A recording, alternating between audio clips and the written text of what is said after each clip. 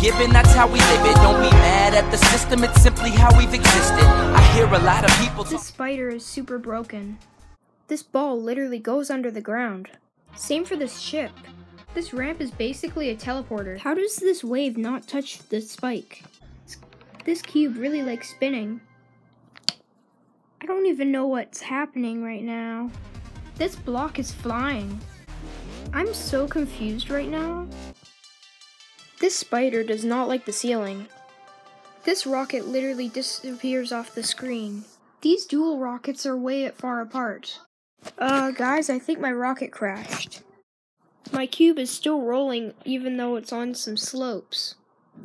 Okay, guys, thank you so much for watching, and don't forget to subscribe and hit that like button.